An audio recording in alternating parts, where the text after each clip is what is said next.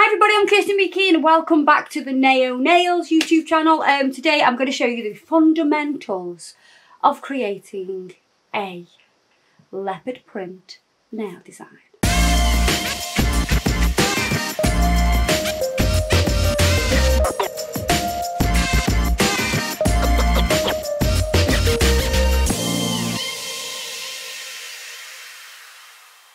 We've got the lovely Andrea in today. Andrea is in my circle, my bubble. So we do not need to wear masks, which is quite nice. Very nice. Mm. So we see each other multiple times in a week. A lot.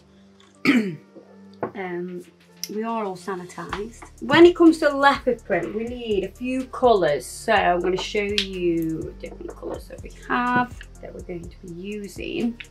We might even add a little bit of sparkle. That'd be nice. That would be nice. Would you like that? Yeah, bit glam. Bit glam. Bit glam. Bit glam duck. Yes, we might just add a bit of bronze medallion. So we've got these four colours. We've got Serious Black, we've got Firewood, and we've got Butterscotch. All quite neutral, you know, well, true sort of leopard print colours. Leopard print's the only colour, I think, that, the only colour, the only pattern that will never go out of fashion. Never.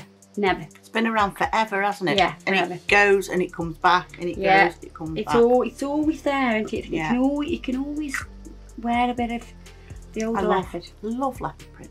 Right then. So we're going to use butterscotch as our background colour. We're going to be covering off the opal nails that Andrea has on. Filmed. If you want to see how I created those, then we will link that below. You can always check that out after. I'm going to do two coats of this colour first of all. Pop me that into the lamp. That's where the fuzz is coming from. So, Kirsty, Yeah? Emma's nail technician has a question. Okay. Since um, COVID, um, you know, she hasn't been working, um, and her brushes have been sat, and she feels like she can't like clean them properly with them being sat. Is that something you've heard of? Um, so if it's, she might be talking about an acrylic brush. So an, an acrylic brush, we have spoke about it in a video before.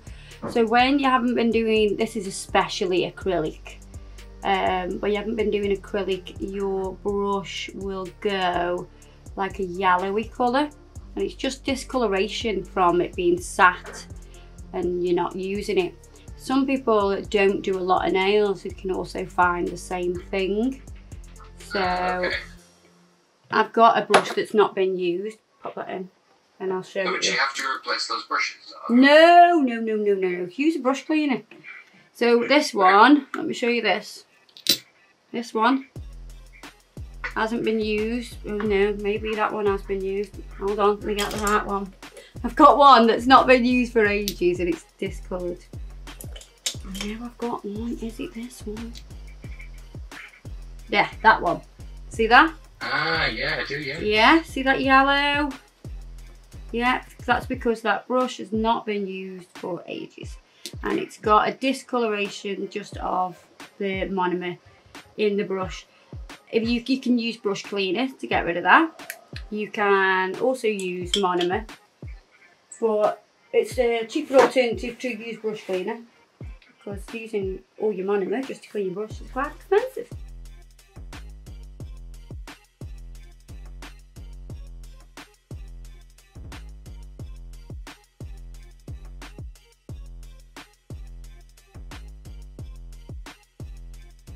Pop me that in. Gonna use the firewood. Get firewood burning. Need it today, like winter. And I'm gonna take my brush and we're literally gonna do, we're gonna work in an angle though. I love it when we work in an angle. I think it makes it look more realistic. This kind of angle is more comfortable for me. And we're gonna do some little splodges. They do not need to be perfect. That is what I absolutely love about prints, especially leopard print.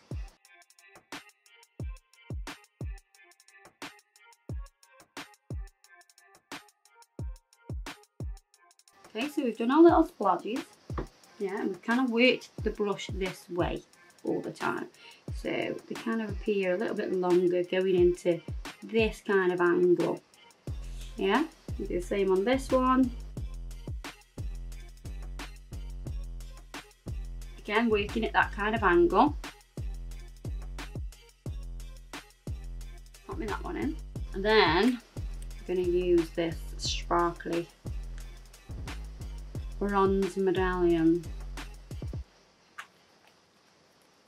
Now you don't need loads. Just to put like a little bit just in the middle. Try not let them stay as a little round dot like that. You still want to pull them a little bit so they're more of an oval shape. You do not need to be bang in the middle. Can dot it down and then you can move it around do what you want with it.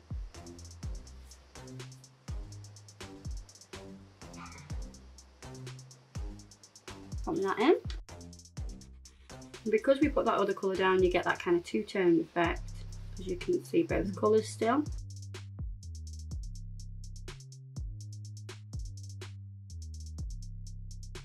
Put that in. Then we're going to use Serious Black, the most pigmented black I ever did see. Right, so I've got the Treble 03 brush. So it's a long brush and what we're going to do is we're going to use the tip to just go around the edge like this and then we're going to pull down and we're going to pull little strokes like this. Tiny movements and those little strokes will make it look more like leopard. Still growing in that same angle. It's really important to keep that angle.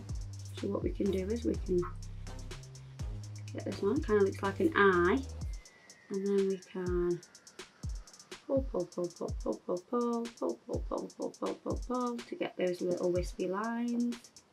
So this top and this bottom part are the thickest and then the lines will just come from that. And not every single one needs to look the same, you want them to look different.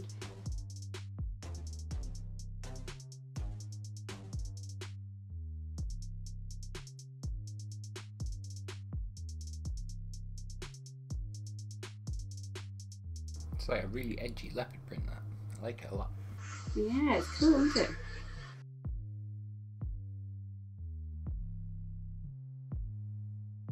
What, what a lot of people do is they do like a, a generic way of doing it, which is to just kind of, we'll do this shape here, and then we'll just do this shape here, and then that's your leopard print, which is, you know, it's okay, but we want to take it to the next level and just do these little wispy lines that kind of like make it look a bit more furry.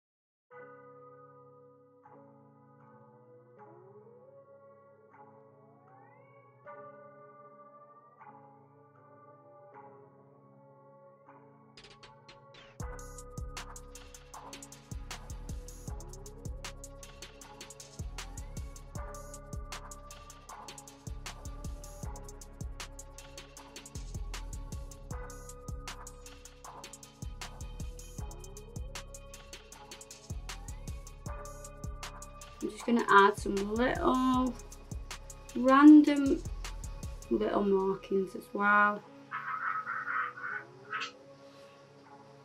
Right, pop me that in the lamp. So I'm going to repeat the same with this finger as well. So I'm going to top coat this now. You could use matte top coat or shiny. I'm going to use shiny because of the glitter that's in there and I want everybody to see the gorgeous glitter.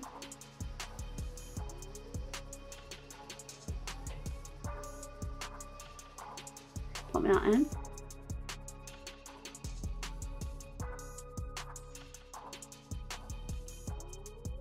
So I'm going to finish these with a little bit of cuticle oil. I think you can tell, you know, that keeping that angle and those wispy little lines make it look a little bit more realistic.